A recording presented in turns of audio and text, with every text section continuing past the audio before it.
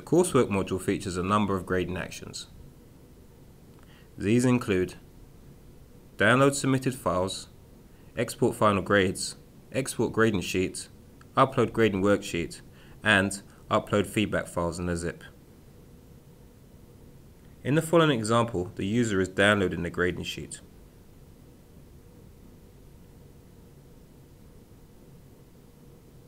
The user then enters a grade into the sheet.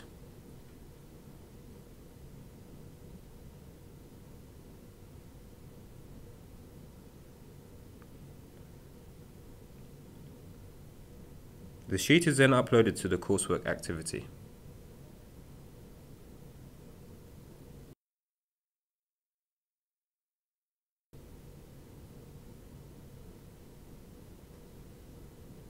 Once the sheet has been uploaded, the grade from the sheet is displayed in the same manner as one entered from the user interface.